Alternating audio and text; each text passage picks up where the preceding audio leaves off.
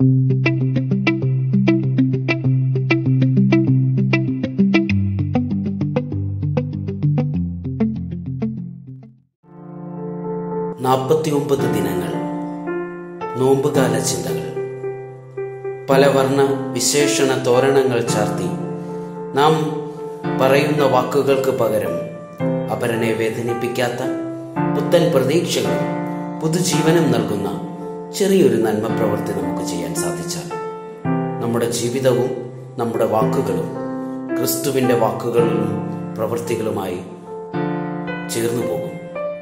വിശുദ്ധ ലൂക്കായുടെ സുവിശേഷം ഒമ്പതാം അധ്യായം ഇരുപത്തിയാറാം വാക്യത്തിൽ കാണുന്നത് പോലെ ഒരുവൻ എന്നെക്കുറിച്ചോ എന്റെ വചനങ്ങളെക്കുറിച്ചോ ലജ്ജിച്ചാൽ അവനെക്കുറിച്ച് മനുഷ്യപുത്രനും തന്റെയും പിതാവിന്റെയും വിശുദ്ധ ദൂതന്മാരുടെയും മഹത്വത്തിൽ വരുമ്പോൾ ലജ്ജിക്കും.